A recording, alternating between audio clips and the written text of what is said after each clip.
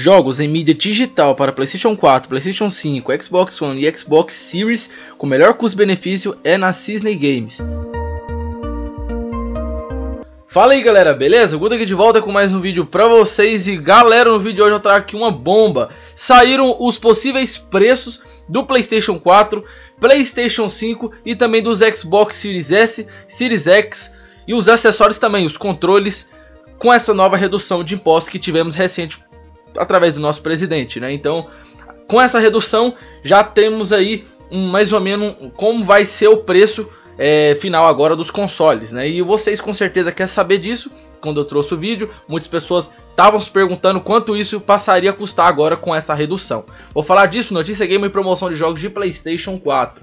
Então antes de começar o vídeo, já clica embaixo no gostei, que assim o YouTube entende que vocês gostam do vídeo, então clica no gostei. Se inscreve aí se você é novo para não perder nenhum vídeo. Ativa o sininho para ser notificado, coloca todos pro YouTube mandar os vídeos novos para vocês. O meu site é aqui embaixo na descrição, com jogos da PS3, PS4 e PS5 com preço muito bom. Tem consoles, tem controle, tem headset, tem teclado, contato, WhatsApp para vocês estarem tirando dúvidas em relação ao produto. Então, pois bem, vamos começar falando logo dessa diminuição de preço dos consoles com essa nova redução do nosso presidente. Com a nova redução, as helicópteras sobre IPIs caiu de 30% para 20% em consoles e máquinas de jogos de vídeo, enquanto nos acessórios a diminuição das helicópteras foi de 22% para 12%. É, no caso, é controles e consoles, não só o console também teve essa diminuição.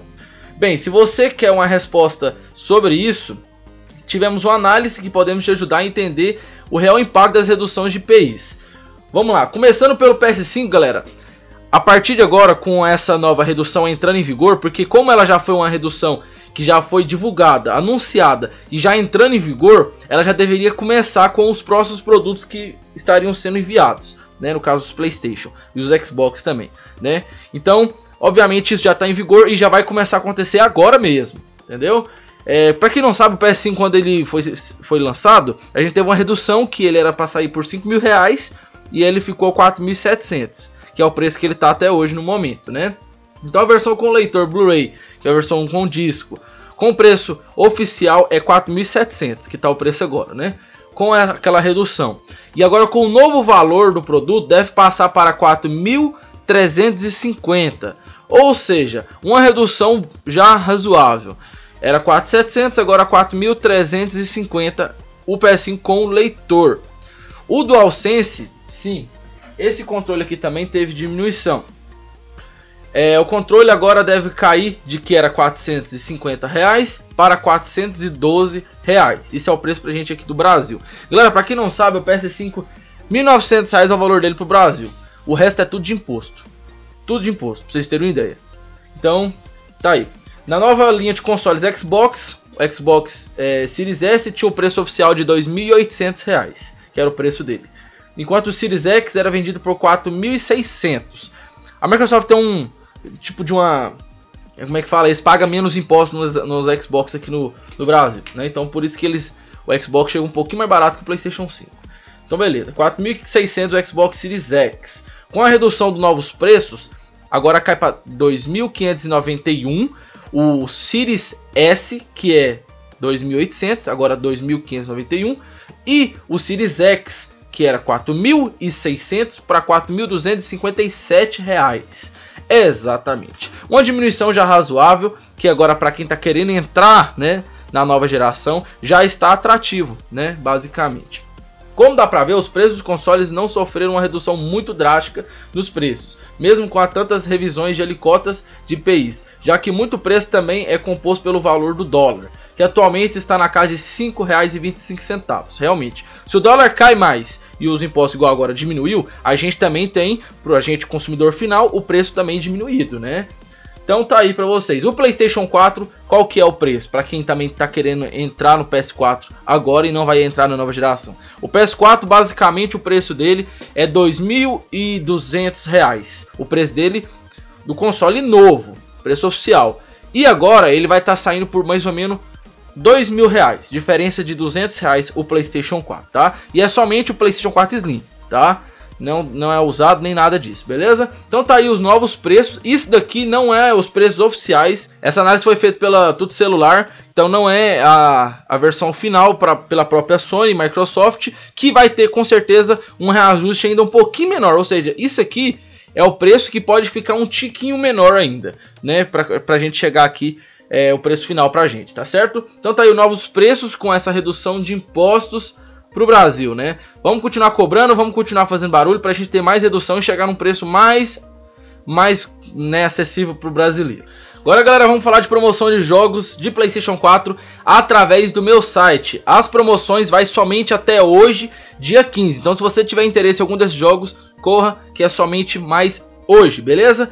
Só jogos recentes, todos os jogos você joga na sua própria conta, sem nenhuma interrupção, ganha os troféus na sua conta e é garantia vitalício. O link dessa categoria com os jogos da promoção está aqui, o primeiro aqui embaixo, na descrição do vídeo, beleza? Olha só, passando aqui pra vocês verem, tem Spider-Man por 94,90, V21 por 100, Resident Evil 3 Remake 94,90, Dragon Ball Z Kakarot 109,90, Red Dead Redemption 2 94,90, preço bom, tá vendendo bastante, Resident Evil 2 Remake 109,90, Call of Duty Modern Warfare 114,90, Final Fantasy VII Remake 100 reais, The Last of Us Parte 2, galera, olha só, 134,90, Mafia Trilogy 130 reais, Call of Duty Cold War, jogo mais vendido, 130 reais, Ghost of Tsushima 130, sim, Spider-Man mais Miles Morales 140 e Resident Evil Village 140 reais também.